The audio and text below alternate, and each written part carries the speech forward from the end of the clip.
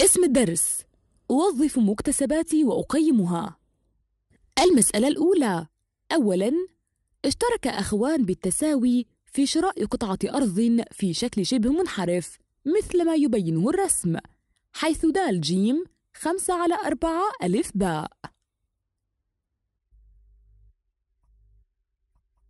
بعد مدة اقتسم الأخوان قطعة الأرض فنال الأول القطعة ألف هاء كاف دال ونال الثاني القطعة المتبقية. فكانت المساحة التي نالها الأول أربعة على خمسة المساحة التي نالها الثاني. وقدر ثمن المتر المربع منهما بخمسين دينار.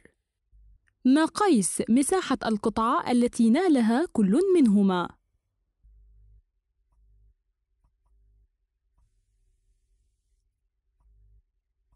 الإجابة. دال جيم يساوي خمسة على أربعة ألف باء. هذا يعني أن دال جيم يساوي ستة وثلاثين على أربعة في خمسة يساوي خمسة وأربعين متر. مساحة كامل القطعة. طول القاعدة الصغرى مع طول القاعدة الكبرى في الارتفاع على اثنان. ستة وثلاثون مع خمسة وأربعون في واحد وعشرون على اثنان يساوي واحد وثمانين في واحد وعشرين على اثنان يساوي ألف وسبعمائة وواحد على اثنان يساوي ثمانمائة وخمسين فاصل خمسة متر مربع. نعلم أن مساحة القطعة الأولى يساوي أربعة على خمسة المساحة التي تمثل القطعة الثانية.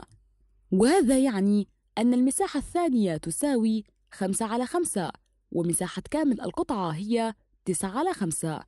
بالتالي فإن قيس مساحة القطعة الأولى يكون كالآتي. مساحة القطعة الأولى بالمتر المربع 850.5 في 4 على 5 على 9 على 5 يساوي 850.5 في 4 على 9 يساوي 378 مساحة القطعة الثانية بالمتر المربع. مساحة كامل القطعة إلا مساحة القطعة الأولى 850.5 إلا 378 يساوي 472.5 متر مربع. أبحث عن قيس مساحة كل قطعة بطريقة أخرى مستعينا بالرسم البياني.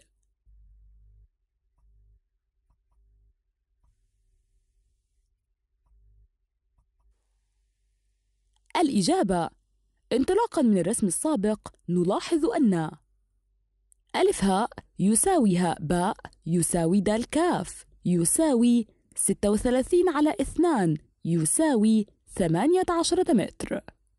ومنه فإن قيس مساحة القطعة الأولى ألف هاء كاف دال متوازي الأضلاع. 18 في 21 يساوي 378 متر مربع. قيس مساحة القطعة الثانية هاء باء جيم كاف شبه منحرف. كاف جيم يساوي دال جيم إلا دال كاف يساوي 45 إلى 18 يساوي 27 متر.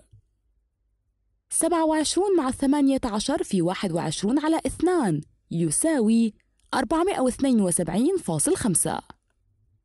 ما المبلغ المالي الذي يعطيه أحدهما إلى الآخر لتكون القسمة عادلة؟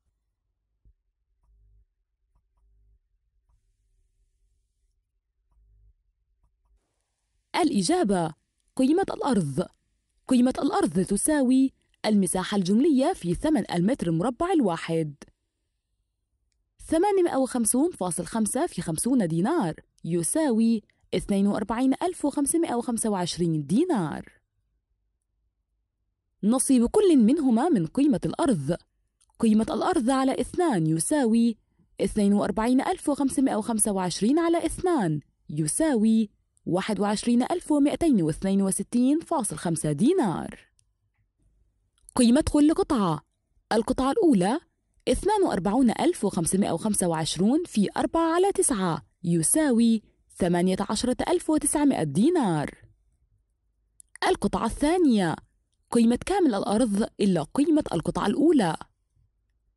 42525 إلا 18900 يساوي 23625 دينار. المبلغ المالي الذي يعطيه الثاني للأول.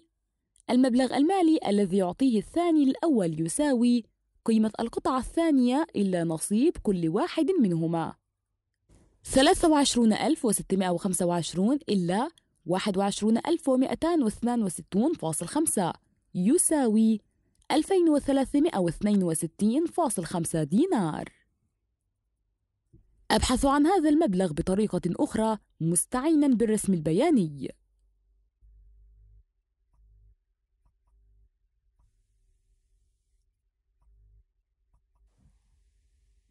الإجابة المبلغ المالي الذي يعطيه الثاني للأول المبلغ المالي الذي يعطيه الثاني للأول يساوي نصيب كل واحد منهما إلا قيمة القطعة الأولى. 21262.5 إلا 18900 يساوي 2362.5 دينار. ثانياً قطعة الأرض ألف باء جيم دال مستطيلة الشكل. قيس عرضها اثنان على ثلاثة قيس طولها. اشتراها مواطن ب 25 دينار للمتر المربع الواحد. بعد مدة اقتضت المصلحة العامة مد طريق فاقتطعت البلدية من هذه الأرض القطعة هاء باء جيم حيث هاء باء يساوي واحد على اثنان ألف هاء. ودفعت للمواطن بعنوان التعويض خمسة عشر دينار عن كل متر مربع منتزع. أحدد ثمن شراء قطعة الأرض ألف باء جيم دال.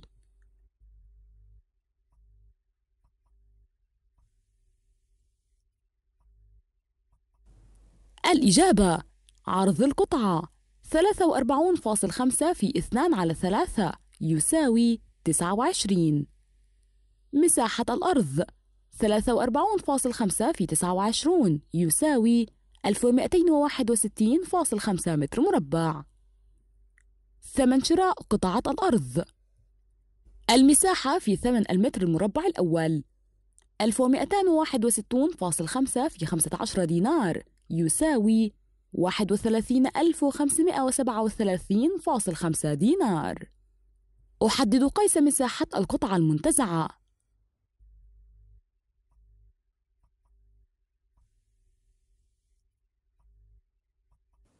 الإجابة قيس طول هاء باء يساوي واحد على اثنان ألف هاء. نلاحظ أن ألف هاء يساوي اثنين على ثلاثة دال جيم. بالتالي هاء باء تساوي ثلاثة وأربعين فاصل خمسة على ثلاثة يساوي أربعة عشر فاصل خمسة متر. قيس مساحة القطعة المنتزعة. مساحة القطعة المنتزعة تساوي مساحة المثلث تساوي القاعدة في الارتفاع على اثنان. 14.5 في 29 على اثنان يساوي 210.25 متر مربع. أثبت حسابياً أن قيس مساحة القطعة المنتزعة يمثل سدس قيس مساحة كامل القطعة.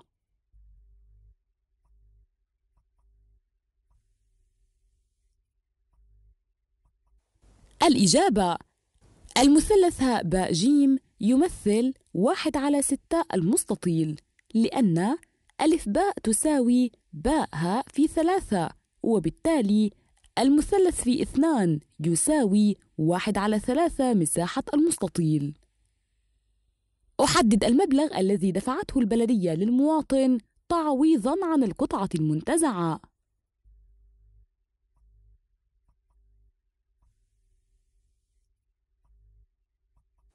الإجابة المبلغ الذي دفعته البلدية للمواطن تعويضاً عن القطعة المنتزعة المبلغ التعويضي يساوي مساحة القطعة المنتزعة المثلث هاء باء جيم في قيمة التعويض للمتر المربع الواحد.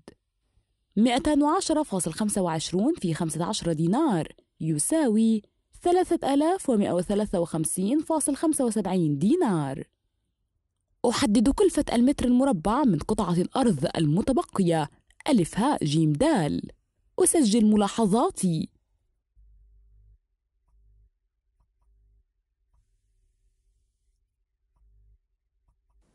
الإجابة المساحة المتبقية. المساحة المتبقية تساوي مساحة كامل القطعة إلا مساحة الأرض المنتزعة. 1261.5 إلا 210.25 يساوي 1051.25 متر مربع. قيمة الأرض المتبقية. ثمن شراء كامل الأرض إلا المبلغ التعويضي. 31537.5 إلا 3153.75 يساوي 28383.75 دينار. كلفة المتر المربع من القطعة المتبقية. قيمة الأرض المتبقية على المساحة المتبقية. 28383.75 على 1051.25 يساوي 27 دينار.